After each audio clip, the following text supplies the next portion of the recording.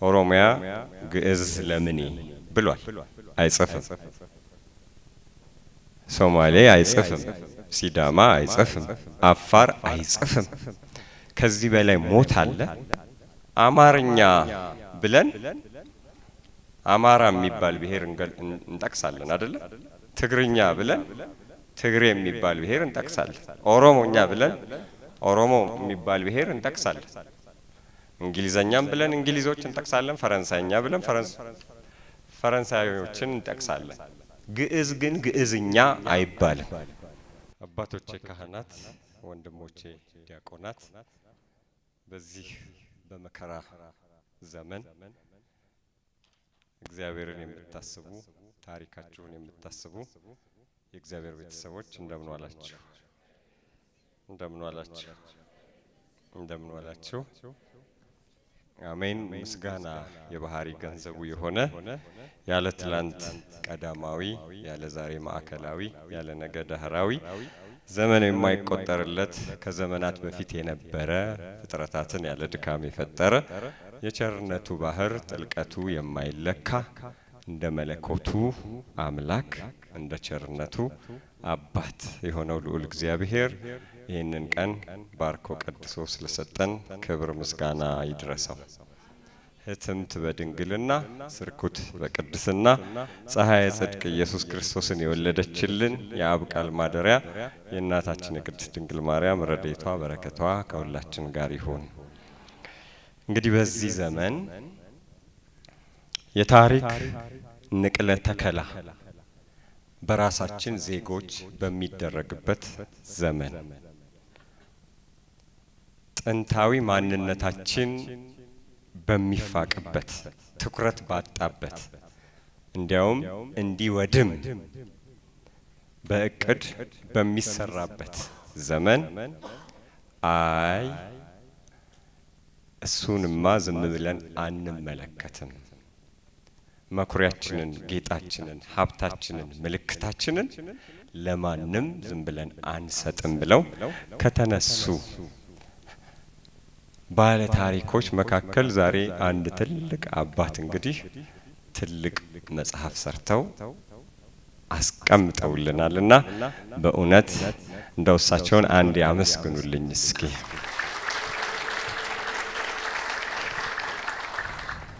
መቼም ግዕዝ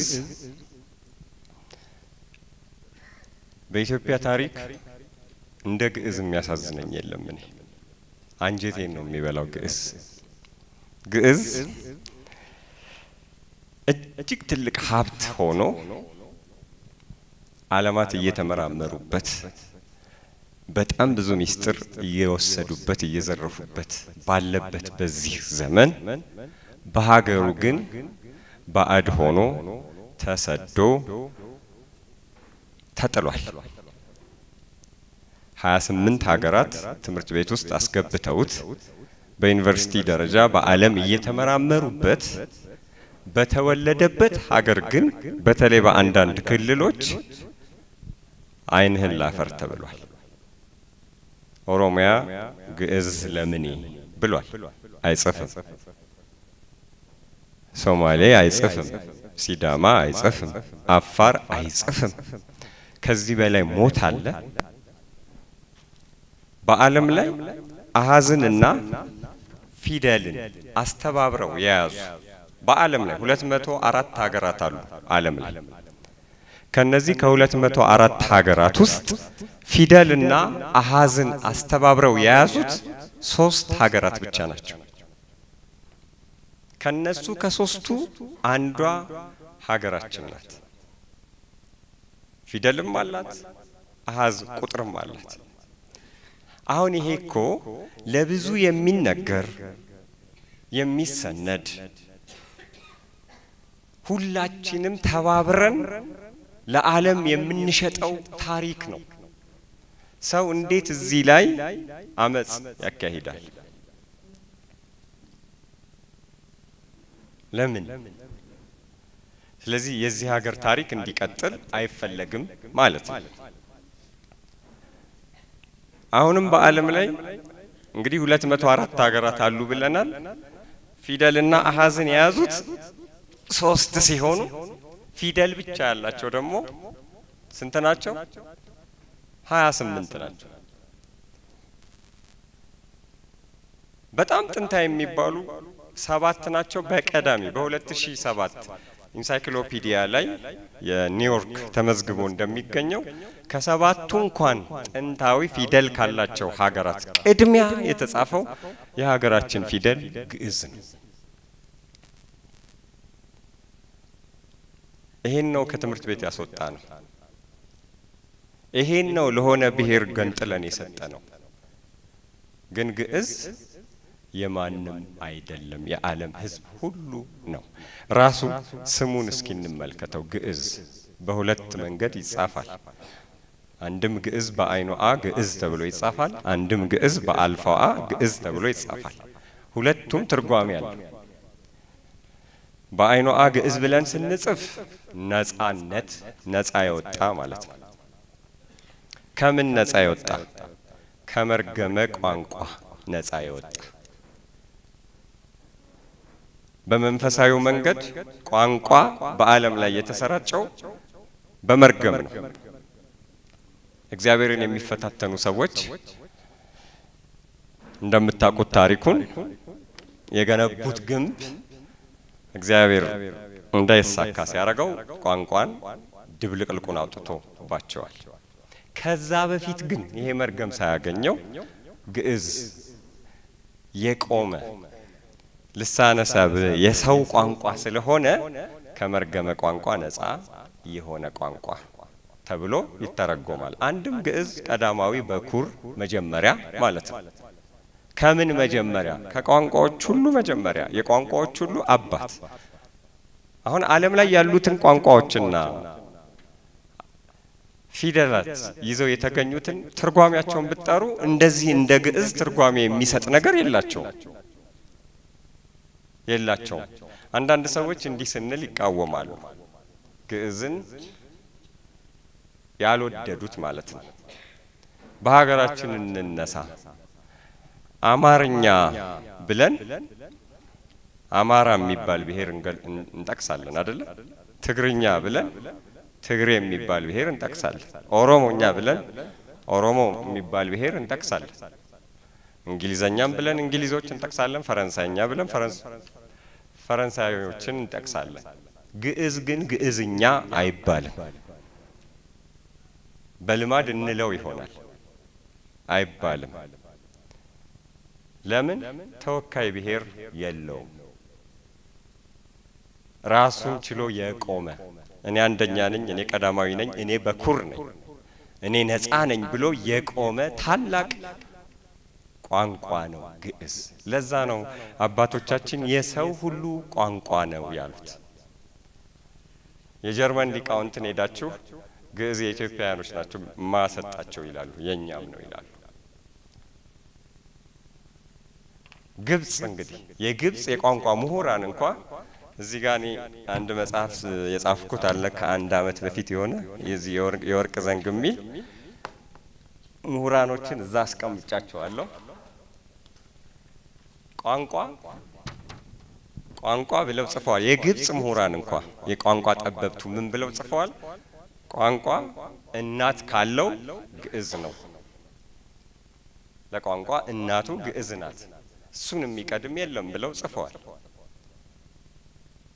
ከነዚህ ደግሞ ታላላቅ በዓለም ላይ ካሉት ሰባት ቋንቋዎች ነው ፊደልና አሀዝ የተወለደው እና የሁሉም ሀገራት ፊደላት እንደው ብታዩት ከግዕዝ ከዚህ ከአሃዙና ከፊደሉ በብዛት የወጡ ናቸው።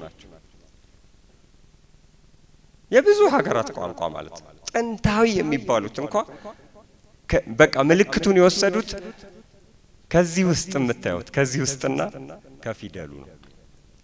ስለዚህ ግዕዝ በጣም በጣም ታላቅ ቋንቋ ነው። አብዛኛዎቹ የግዕዝ ፊደላት አምስት ባህሪ አላቸው። ደግሞ ሌሎቹ ዓለም ላይ ያሉት ቋንቋ አንድ ነው። በቃ መገለጫቸው ምንድን ነው? ምልክታዊ ናቸው። ግዕዝ ግን ራሱን የቻሉ መለያ ደግሞ ጠባዮች አሉት። ከምልክት የዘለለ ነው። ከድምጽነት ብቻ የዘለለ ነው። ባህሪያት አሉት መገለጫ የሆኑ ማለት ነው እና አምስት ባህሪያት አሉት። እነሱ አምስቱ ባህሪያት ደግሞ ከሌሎች ቋንቋዎች የተለየ ያደርገዋል። ከምልክት ብቻ አይደለም፣ ከምልክትም ያልፋል። ታዲያ በዚህ ዘመን እንደዚህ አይነት አባቶች አሃዝን ለይተው ከመቶ በላይ ዜሮ ተመልከቱ፣ ከመቶ በላይ ዜሮ ያለው ይህንን ታላቅ ፊደላችንን በመጽሐፍ ጽፈው ታሪካችሁ ነው እወቁ፣ ተመገቡ፣ ብሉት ብለው ሲሰጡን ከዚህ በላይ ለእኔ ትልቅ ታሪክ የለም። ይሄ ዓለም ዘመናዊነቱ ራሱ እየገለጠ ያለው በቁጥር ነው፣ ነው። ቁጥር የዘመናዊነት መንገድ ነው። ቁጥር ላይ መመራመር የዘመናዊነት መንገድ ነው። ወደ ሳተላይት ብናመጥቅ፣ በመኪና ብንራመድ፣ በአውሮፕላን ብንወጣ በሙሉ ዓለም ላይ ያለው የባንክ system ኡ፣ የኢኮኖሚ system ኡ፣ የሀገራት የደህንነት ሚስጥራት በሙሉ ቁጥር ላይ የተመሰረቱ ናቸው። ስለዚህ ቁጥር ትልቅ ትልቅ ነገር ነው። ይህንን ደግሞ ምልክቱን በደንብ ማወቅ በሄድንበት ማስተዋወቅ አለብን። ብዙዎቻችን ረስተነዋል። ምናልባት እዚህ ቤት ያላችሁት ለቤተ ክርስቲያን ቀረብ ያላችሁ ስለሆናችሁ ልታነቡት ትችላላችሁ። ትውልዱ ግን አልረሳውም። እስኪ ንገሩኝ፣ አልረሳውም? የቄስ ቁጥር ነው ይላል እኮ ቅድም በነገርኳችሁ ይሄንን ታላቅ የዓለም ሕዝብ ሁሉ የተደነቀበትን ነገር አይ የቄስ ቁጥር ነው ብሎ ባልሆነ መንገድ ተርጉሞታል። ስለዚህ ይህንን ቅርሳችንን በጣም ማስተላለፍ ይገባናል። እንግዲህ የግዕዝ ፊደላት ወደ ታች በሙራድ ሀያ ስድስት ናቸው፣ በጎን ሰባት ናቸው። አንድ ላይ ስንደምራቸው መቶ ሰማኒያ ሁለት ይመጣሉ። መቶ ሰማኒያ ሁለት ግን የሚመጡበት ደግሞ በራሱ ምክንያት አለው። እኔ የሚገርመኝ ግዕዝ እጅግ ጥልቅ መንፈሳዊ ትርጓሜ ሰጥቶ የሚያልፍ ነው። ወደ ታች ሀያ ስድስት ሆኖ ወደ ጎን ሰባት ዝም ብሎ አይደለም አባቶቻችን የሰሩት። በጣም ትርጓሜ አለው፣ የሚደንቅ ምስጢርም አለው። አንድ ላይ ስንት ይመጣሉ? እስኪ ንገሩኝ። መቶ መቶ ሰማኒያ ሁለት ይሄ ደግሞ ሶስት መቶ ስልሳ አምስት እለታት በአመት አሉ። ከነዚህ ከሶስት መቶ ስልሳ አምስት እለታት ውስጥ ሁለቱ ብቻ ናቸው የፀሐዩና የምሽቱ ሰዓት እኩል የሚመጡት ሶስት መቶ ስልሳ ሶስቱ ሰዓታት ትርፍ አላቸው። ያው እንደምታውቁት የባህረ ሀሳብ ተማሪዎች ታውቁታላችሁ። ሶስት መቶ ስልሳ አምስት ቀናት በሙሉ እኩል አይደሉም። አንድ እለት ከሀያ አራት ሰዓት በላይ ነው። በአመት መስከረምና መጋቢት ብቻ ነው እኩል የሚመጣው 24 ሰዓት፣ እኩል ፀሐይ 12 ሰዓት፣ እኩል ምሽት 12 ሰዓት። ስለዚህ የግዕዝ ፊደላት መደቡ ወደ ታች 26 ሆኖ ወደ ጎን ሰባት የሆነበት የዘመን አካፋይን ስለያዘ ነው። የመተካከል ምሳሌ ነው። መተካከል ይባላል በቤተ ክርስቲያን ትምህርት። አባ ብፁዕ ቀቦሞ በደላችንን የቀደመ በደላችንን አታስብብን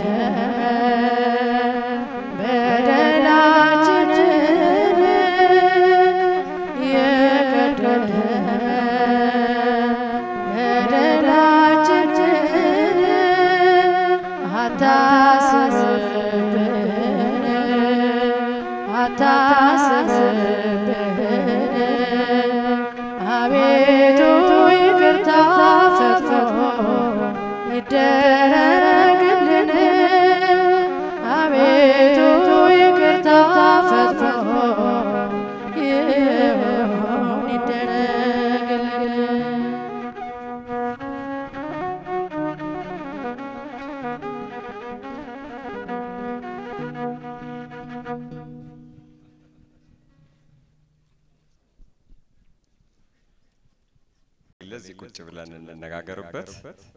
ቅድም ግዕዝ ከሌሎች ቋንቋዎች የሚለየው አምስት ባህሪያት አለው ብለን ነበርና ከእነሱ እንደው ጥቂቱን ለመጥቀስ አንደኛ ስነ ከዋክብታዊ ስነ ከዋክብታዊነት አለው ግዕዝ በባህሪው ጊዜ ካለ በኋላ ላብራራው እችላለሁ። ሁለተኛ ምሳሌያዊነት አለው በባህሪው ቋንቋ ቁጥራዊነት አለው። ፊደሉ ቁጥርም ነው። የግዕዝ ፊደል ዝም ብሎ ፊደል ብቻ አይደለም፣ ቁጥርም ነው። ጽንሰ ሀሳባዊነትም አለው። እናንተ እንግዲህ ይሄንን ታላቅ ሀሳብ የያዘ ፊደል ያላችሁ ህዝቦች ናችሁ ማለት ግዕዝ ንባብም ነው። ግዕዝ ፊደልም ነው። ግዕዝ ዜማም፣ ግዕዝ ቀመርም ነው። ለዛ ነው ዓለም ላይ ያሉት እንግዲህ ተመራማሪዎች የቋንቋ ተመራማሪዎች ወደ ሀገራቸው እየወሰዱ ምርምር ሊያደረጉበት የፈለጉት። ቅድም እንግዲህ እንዳነሳ ነው መተካከልን እንኳ በፊደላቱ መደብ የገለጠ አይገርማችሁ? ሳተላይት ሳይኖር ምንም አይነት ወደ ሰማይ የሚላክ መንኮራኩር ሳይኖር አባቶቻችንን ሰማይን ተመልክተውታል። ሰማይን ተመልክተው በፊደላቸው ዘርግተው ነግረውናል። እንግዲህ በዓመት ውስጥ ሁለት የመተካከል ወራት አሉ ብሎ ሳይንስም ያምናል። ቀናቱንም ይጠቅሳል። ቀደም ያሉት የእኛ አባቶች ግን በፊደላቸው ውስጥ በዓመት ውስጥ ሁለት የመተካከል ቀናት አሉ። ስለዚህ ፊደላችን መቶ ሰማኒያ ሁለት ፊደል ይዟል። አንዱ የመስከረምን አንዱ የመጋቢት። አንድም ደግሞ አንዱ የአዳምን አንዱ የክርስቶስን። እና እንደዚህ አይነት ጥልቅ ነገር ያለው ነው። ፊደሉ። ጊዜ እንዳልወስድ እንግዲህ ልጠቅልለው። ስለዚህ እንግዲህ አባታችን የሰሩልን ለዚህ ምርምር የሚረዳ ለታሪክ የሚተላለፍ ትልቅ ቅርስ ነው። በእውነት ዛሬ አንድ መልእክት ላስተላልፍ። እዚህ ቤት ያላችሁት እንደው ልጆቻችሁን የግዕዝን ፊደልና የግዕዝን ቁጥር አስጠኑ አስጠኑ። ይሄ የተበላሸውን ትርክት ደግሞ አስተካክሉ አስተካክሉ እውነቴ ሀገራችን የነጻነት ሀገር እንድትሆን ግዕዝ ማለት ራሱ ነጻነት ማለት ሆኖ እያለ እኛ ተመልሰን ባርነት። ለምንድን ነው ህዝቦቻችንን ወደ ባርነት የምንወስዳቸው? እውነቴን እኮ ነው። ለሶማሌ ልጆች ላቲን ቀርቧቸው ነው ከግዕዝ። ለኦሮሞ ልጆች ላቲን ቀርቧቸው ነው ከግዕዝ። ለአፋር ልጆች ላቲን ቀርቧቸው ነው ከግዕዝ። ለሲዳማ ልጆች ላቲን ቀርቧቸው ነው ከግዕዝ በላቲን የሚጽፉት። ትርክቱ ስለተበላሸ ነው። አማርኛ ከግዕዝ ፊደል ወሰደ እንጂ የግዕዝ ፊደል ባለቤት አይደለም። ትግርኛም እንደዛው። የኢትዮጵያ ፊደል መሰረቱ ግዕዝ ነው። ግዕዝ ደግሞ የሁሉም ነው። የሁሉም ውክልና አለው።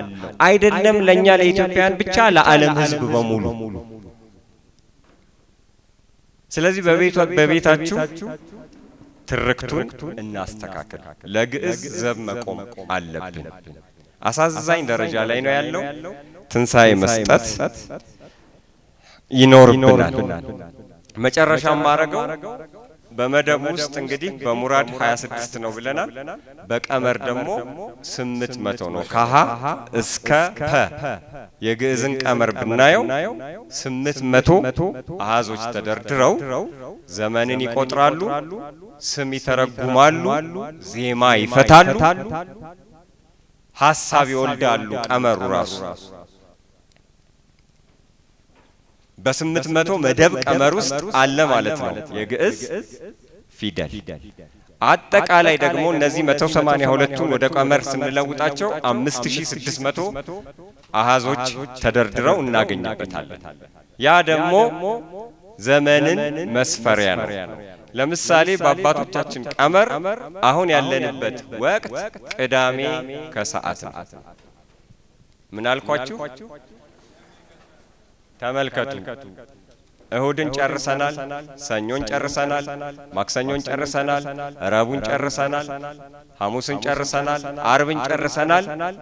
ቅዳሜ ከሰዓት ላይ ነው ያለ ነው። በአባቶቻችን የዘመን ቀመር ፊደል ሰሌዳውን ስንገልጠው ማለት ነው። ጥቂት ነው የቀረ። ይቺ ዓለም እንዳልነበረች ልትሆን ጥቂት ነው የቀረ። ስለዚህ በዚህ ዘመን ቅዳሜ ከሰዓት ላይ ሆነን ደግሞ ታሪካችን እንዳይጠፋ ዘብ መቆም አለብን። ስለዚህ እንደው ለአባታችን የመጨረሻ ማጠቃለያ ላርገው።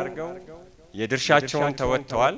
በዚህ መንገድ ብቻ አይደለም፣ ትምህርት ቤቶች መውሰድ አለባቸው። የባህል ተቋማት መውሰድ አለባቸው። ይሄንን መጽሐፍ ጥናት እንዲደረግበት መደረግ አለበት። እኛም ደግሞ እዚህ ውስጥ ያለነው ለልጆቻችን ወደ ቤታችን ይዘን መሄድ፣ ማስተዋወቅ፣ መንገር አለብን። ታሪካችን ግድ የሚለን ከሆነ ቀስ እያለ ነው ታሪክ የሚወድመው። ምንም ሳይመስለን ሲጠፋ እንቆጫለን። ብዙ ነገር እያጣን ነው። የነበሩን የቀደሙን ማንነታችን በሙሉ እየጠፋ ነው። እንደምን አላችሁ? ማን ይሄን ያስተማራችሁ? የቀደሙ አባቶች ናቸው አይደል? ይሄን የሰሩ የሆነ ቦታ ብትሄዱ ውጭ ሀገር እንደዚህ ትላላችሁ። በሽተኛ ሲታመም ሄዳችሁ ጠይቃችሁ ምን ብላችሁ ትወጣላችሁ? እግዚአብሔር ይማርህ። ማታ ስትተኙ ምን ብላችሁ ትተኛላችሁ? በሰላም የዋልከን ጠዋት ስትነሱ ይሄ ሁሉ የቀደሙ አባቶቻችን አንደበታችንን በምስጋና እንድንፈታ የሰሩልን ነው። አሁንስ ወጣቱ ፒስ ነው፣ ኬፍ ነው፣ እንዴት ነሽ? ምስጋና ከአንደበቱ ምን ሆነ? ተነጠቀ። ገበሬው እርሻ ሲዘራ በስመ አብ ወወልድ ወመንፈስ ቅዱስ አሐዱ አምላክ አሜን ብሎ ነው። እናቶች ጤፉን ሲያቦኩት ምን ብለው ነው ብላ ትላላችሁ? እግዚአብሔር ይስጣችሁ የምትሉ ከሆነ ስለዚህ እግዚአብሔር የሌለበት የለም ነበር አደለ? ፊደላችን እግዚአብሔርንም ይሰብካል። በሕግ የታነጸ ትውልድ እንዲኖር ያደርጋል። ተመራማሪ ያደርጋል። ታዲያ ለዚህ ዘመቆም የለብንም የለብንም። ሁላችንንም ልቦናችንን ይክፈት። ለፊደላችን ለአህዛችን ዘብ የምንቆም ያድርገን። ለአባታችን አንድ ያጨብጭቡልኝና እኔ ይብቃኝ።